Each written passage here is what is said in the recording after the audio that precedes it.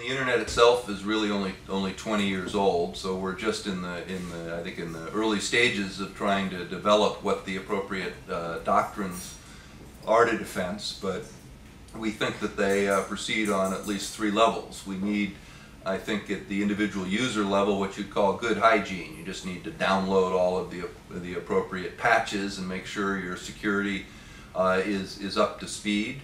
You also need a, uh, a, second layer, which is a ring of firewalls, intrusion detection devices. And then you need, I think, a layer I'd call more active defenses, which is uh, an ability for uh, governments to understand and, and, counter the kinds of uh, more malicious threats that might be out there uh, against uh, both government and critical private sector computers.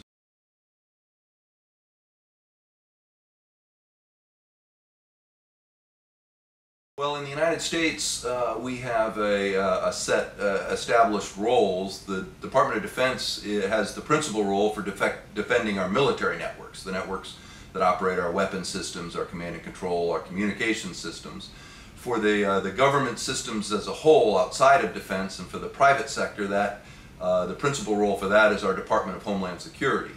Now, the Department of Defense is able to bring much technical expertise and supports the Department of Homeland Security, but in that role, it is a supporting agency, not the principal agency.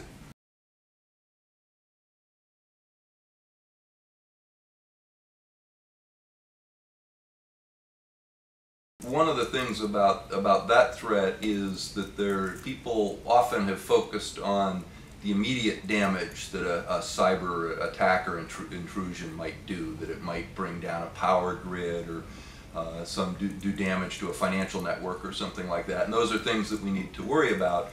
But the, the, the Google threat, I think, is much more a threat of uh, theft of intellectual property. I mean, the, uh, the U.S. and the Australian economies uh, thrive on the, on the strength of, of the kinds of intellectual developments that our societies have made, and so we need to be able to protect those uh, from, from theft on the internet and elsewhere. So I think uh, that's one of the new, new uh, avenues that the cyber threat poses.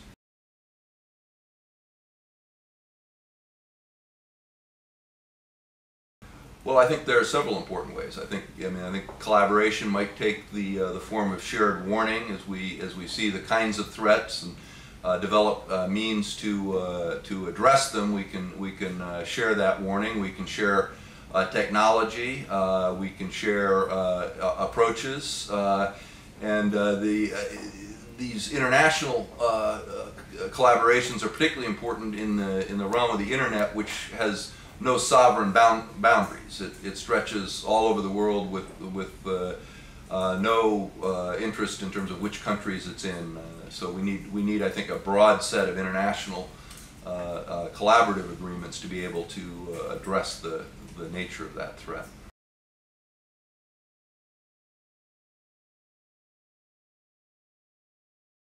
We're very satisfied with the, uh, the level of, uh, uh, of contribution we're getting from Afghanistan right now.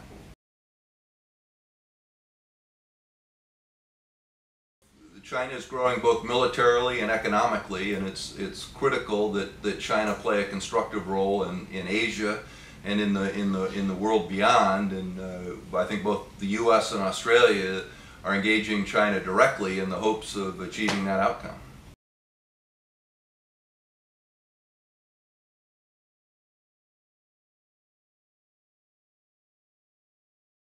Two nations such as the United States and, and China are always going to have some uh, individual disagreements. Our, our hope is that the, uh, the fabric of the, uh, uh of the relationship will be strong and we'll be able to uh, uh, pursue a, a, a, peaceful and constructive relationship despite the occasional disagreement.